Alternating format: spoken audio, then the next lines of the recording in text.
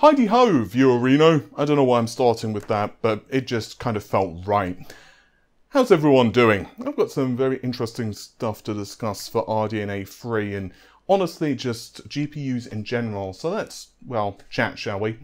So RDNA 3, of course, is the successor to RDNA 2 and will bring numerous improvements in IPC and other technology, but a real key difference between RDNA 2 and RDNA 3, as many of you are aware, is the fact it is going to be chiplet based. And this brings me to a couple of things that I've been hearing and also some very interesting rumours that have been floating around on Twitter. I'll get into my own exclusive information first, and then we'll kind of start delving into the midst of Twitter.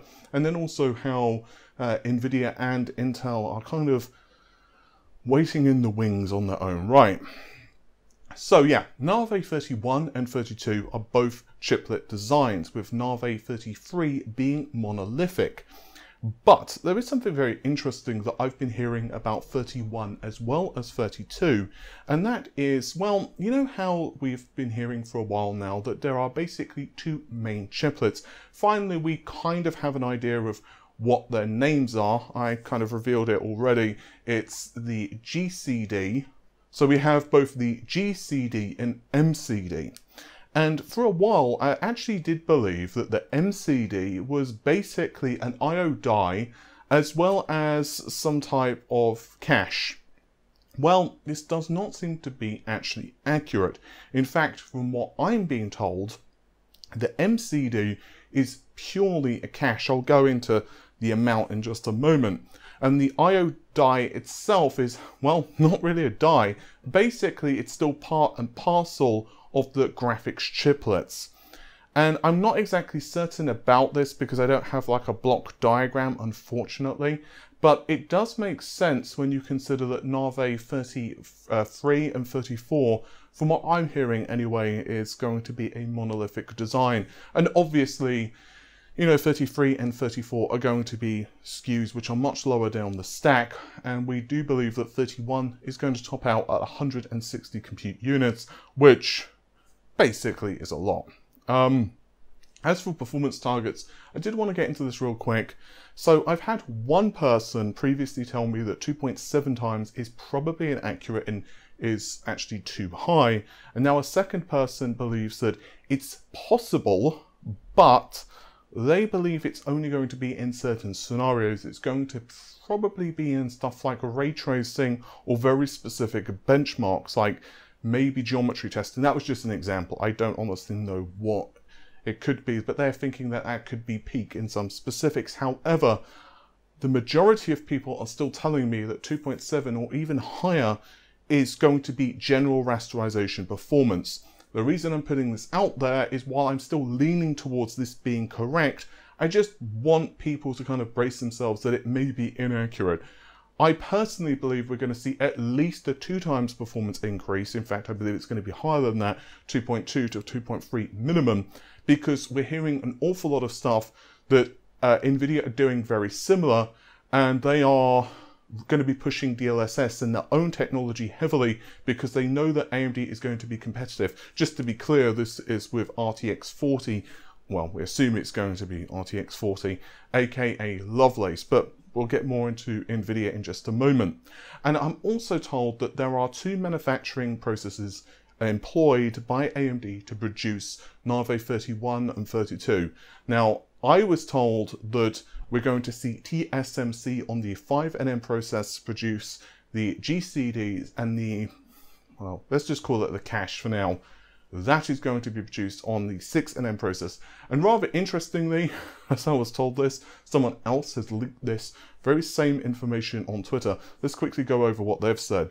They've said that Navi 31 is 5nm and 6nm chiplets, uh, GDDR6 256 but, uh, bit bus with a 256 megabyte IC, and then obviously you can read the rest of your tweet, the tweet yourself. Now, I have to say, I'm hearing that the IC is more than this. I'm being told that um, it the, the, the cache itself is going to be 512 megabytes, and I've now been told this by three people. However, it could be incorrect.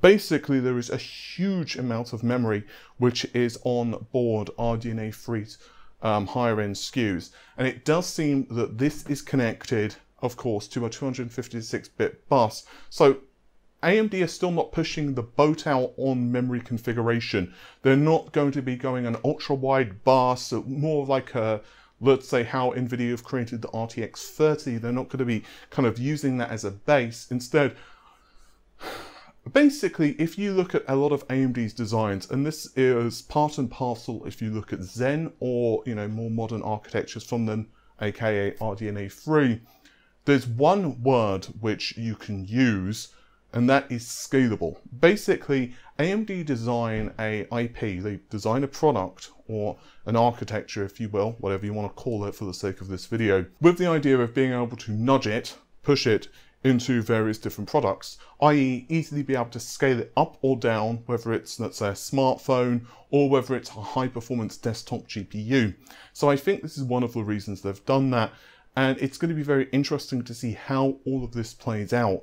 Now, in my personal opinion, RDNA 3 is also looking like it's going to have much better upsampling. I've now been told by two to three people that FSR 1, how do I say it? It's almost like AMD kind of getting the foot in the door for upsampling. And what they wanted to do is to produce a technology to give them like a PR win, and they have. Now, we can make a really good argument of whether this should work on GTX 10 cards, for example.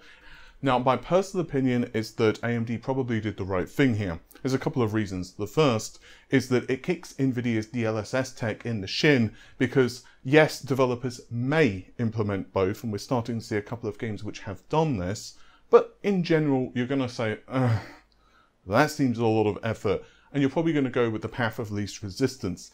The second is that it also means that it's just easy to uh, plonk into your game. You know, we're hearing developers talk about 30 minutes, a couple of hours or whatever.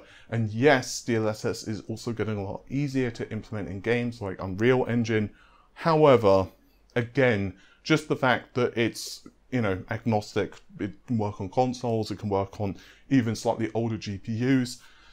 I think it makes sense. But getting back to what I'm being told, again, I'm hearing multiple people now tell me that FSR 2.0, for lack of a better word, it could be called, you know, Donald Duck for all we know, it will actually have some level of upsampling. I've discussed this previously in another video, so I'm not going to go over it again, but basically, it seems like AMD are taking a very different approach to NVIDIA, and it seems like the training is done more locally and I don't really know how that implementation will work. However, once again, MLA chiplets do not seem to be part of RDNA 3, so it seems that they're making some other changes, but whether or not this will be back portable to RDNA 2, for example, and it will just perform inferior, I don't honestly know. And it will be very interesting to see how all of this comes together. Because the thing is, again, you know, you still have 4 and 8-bit operations on RDNA 2, so how they've changed these instruction sets for RDNA 3, I honestly do not know. Now, let's talk a little bit more about Intel and NVIDIA. We'll start with Intel first, simply because they're first alphabetically. Um, and this concerns DG2. So I had an exclusive very recently discussing the fact that to my knowledge, DG2 was almost certainly coming to mobile first and then we would see the desktop version later on, i.e. Intel are definitely working towards both a mobile and a desktop solution. However, and this is not talking um, about, let's say, server GPUs, which are an entirely different kettle of fish. I never understood that, kettle of fish. What the hell is that about? Anyway, from what I understand, this plan is almost certainly still correct. However, I am starting to hear some murmurs that Intel could push their GPU plans for desktop a little bit faster or maybe release either limited quantities or just a couple of SKUs. Now I don't know whether those SKUs are going to be the high performance SKUs or whether they're going to be lower ones. If I had to guess based on what Raja Koduri did with Polaris and also what we've seen with let's say uh, AMD and NVIDIA strategy, they'll probably release the higher end SKUs first. But again, I cannot be certain. I personally would love Intel to release their GPUs simultaneously. However, the big question at the moment is just, you know, how ready are they for this? And again, it's not just a case of like, oh, gee whiz, we're going to release the architecture because we want to compete with, um, let's say, NVIDIA and AMD. It's also a slightly more strategic thing than that that's looking outside of the discrete graphics market and basically at the TAM itself, total available market, and how Intel can best thwart certain trends which are happening. I.e., for example, AMD now are releasing their own know, Navi line of cards, which are starting, or chips, which are starting to go inside of mobile GPU, um, yeah, mobile solutions. NVIDIA, obviously, with RTX 30 mobiles are quite popular at the moment. And gamers, let's just be honest, they are starting to play more and more and more on laptops, and for good reason. You know, you can pick up a pretty good laptop CPU, you know, the new Ryzen processors are really good in terms of power consumption, an RTX 3060 mobile or whatever. And you know what? 1080p gaming, especially with upsampling technology, you can even plonk that in, you know, you can dock it, run it on the 1440p screen. And given people are now obviously going to work or working from home or taking it to school or, you know, well, I was about to say traveling, but I guess eventually. You know what I mean though, like it's, it's a very logical option. And even people who do have like high performance desktop solution, it doesn't mean that you are suddenly against mobile gaming, right? There's a there's a really good argument there. So what I'm basically trying to say to you guys, I'm using way too many words for this as, as normal. However, I do think that Intel wants a tasty, tasty piece of that because Intel and Nvidia and AMD are obviously they partner on some things, but they still want, you know, that laptop sale. And if Intel can basically bundle a, you know, bundle of joy to, let's say, Acer or Dell or whomever they're selling, you know, the, the kits to, and say, okay, we can sell you the CPU, the GPU, the memory kits, everything. This is how much it's going to cost you. We can help you build the device, as well as possibly do some marketing, especially if they're a bigger partner it could be very tempting. Um, at the moment, yes, Intel do have good CPUs, you know, they're not that bad compared to Ryzen. I mean, we can argue about it all day long, but it's not like, you know, it's not like they're really bad. Um, but they don't have any GPU solution. So it doesn't matter even if Intel had a much better processor than AMD. And the fact is, you know, with what AMD are doing with, let's say, SmartShift, for example, there's a lot of stuff, technical term, that Intel can really leverage in the future. And it's going to be very interesting to see how NVIDIA kind of face off against all of this pressure. And let's just be totally honest, guys. If you kind of look at the market, it's not too difficult to figure out why, or at least one of the reasons that NVIDIA do want to purchase ARM, right? It's just, it's not that difficult to kind of start putting some pieces together there.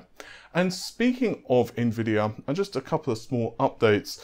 So RTX 30 Super apparently is going to be a really big step towards Ada Lovelace, this is according to kopite7kimi, although they've not really elaborated as to what this means. In fact, in one of their tweets, they've even said that the super refresh, whatever you want to call it, is still going to be on the same process node. So it's going to be very curious to me how all of this works, and it makes me wonder somewhat if.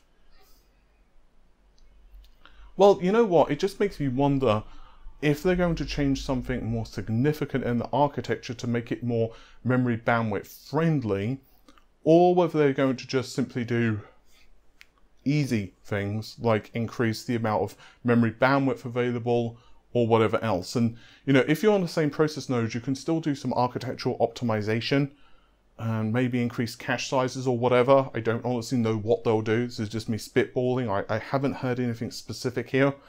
Um, but it doesn't seem like the architecture is going to be a complete revolution. You know, it's not going to be like... Well, there's a reason they're calling it a refresh and they're not calling it, you know, RTX 40. And of course, the real big hitter from NVIDIA is going to be RTX 40 aka Lovelace and again the performance targets I'm being told are about 2.2 but most people are being a little more modest and saying it's around two times the RTX 3090. With that said, I think that's just about it for this video. There was some extra stuff that I wanted to discuss, but to be honest with you, I ended up rabbiting on way too much as it is. If you've enjoyed it, well, you know what to do. You click the like button because it helps us out because YouTube and engagement and all of that bollocks. And also if you click the subscribe button and the bell icon because, again, YouTube. And I'll see you soon. Take care of yourselves. Bye for now.